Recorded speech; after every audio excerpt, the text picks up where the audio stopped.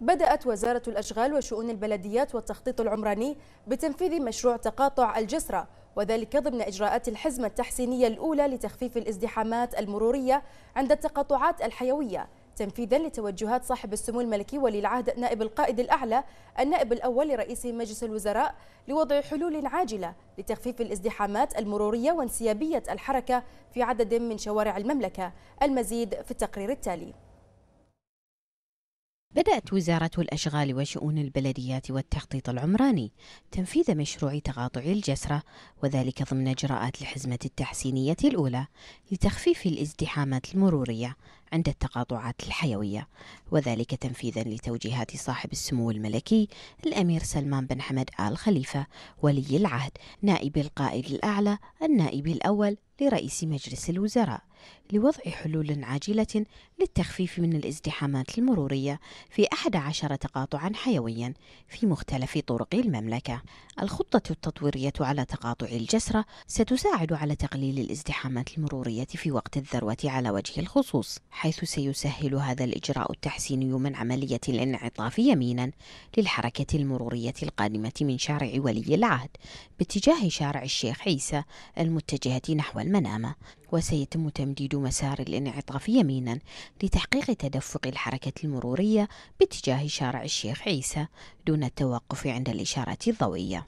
هذا التقاطع بوضعه الحالي يستقبل تسعين ألف مركبة يوميا لكن من المؤمل أن يرتفع هذا الرقم وتزيد الطاقة الاستيعابية للتقاطع لتبلغ 120 ألف مركبة يوميا.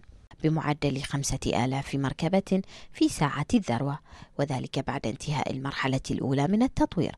وعشرة آلاف مركبة في ساعة الذروة بعد اكتمال المرحلة الثانية من المشروع بينما سيقل زمن الانتظار بنسبة 30% مقارنة بالوضع الحالي فيما سترتفع النسبة لتصل إلى 60% بعد اكتمال المشروع. وهذا الأمر سيلمسه مرتادي الطريق خلال الفترة المقبلة. هذا التطوير لن يقتصر على التقاطع فقط بل سيشمل الجزيرة الوسطى للطريق التي تخدم الحركة المرورية القادمة من جسر الملك فهد حتى أعلى الجسر ومنه إلى الشمال باتجاه البديع ما يساهم في تقليل الازدحامات على مرتادي الجسر. المرحلة القادمة تحمل بين طياتها حزمة من المشاريع الكبرى وضعتها الوزارة تنفيذا لتوجيهات سمو ولي العهد.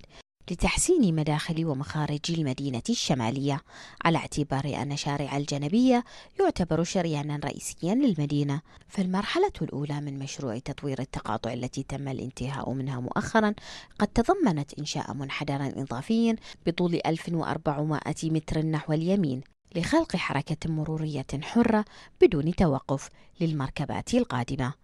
حيث سيتم ربط شارع الجنبية مع شارع الشيخ عيسى بن سلمان لتصبح الحركة المرورية حرة دون توقف حيث تم تقدير الحركة المرورية على التقاطع بأكثر من ألف سيارة في ساعة الذروة كما أن تلك المرحلة ستؤدي إلى خفض نسبة الازدحام المروري على التقاطع. ما سيزيد من الطاقة الاستيعابية للتقاطع. مع الأخذ في الاعتبار أن منطقة الجنبية تشهد نموا عمرانيا مضطردا إضافة إلى أنها تشهد مشاريع إسكانية واستثمارية متواصلة.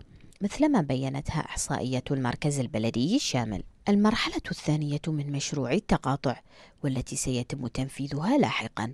سيتم خلالها تنفيذ مجموعة من التغييرات الإضافية على التقاطع لتكون الحركة المرورية أكثر انسيابية في جميع الاتجاهات.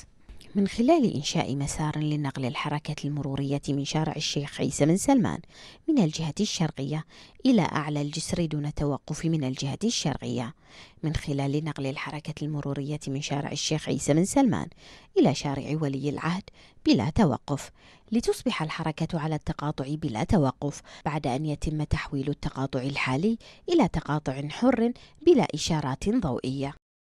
وزارة الأشغال وشؤون البلديات والتخطيط العمراني في الوقت الحالي تسعى إلى توسعة شبكة الطرق في البحرين وفق المعايير العالمية لمواصلة تعزيز مزايا البيئة الاستثمارية التي تنشدها المملكة. توفير مسار حر على تقاطع الجنبية لحركة المرور القادمة من شارع الشيخ عيسى والمتجهة شمالا إلى شارع الجنبية سيكون له دور لافت في التخفيف من الاختناقات المرورية. خولة الجرينيس لمركز الأخبار تلفزيون البحرين.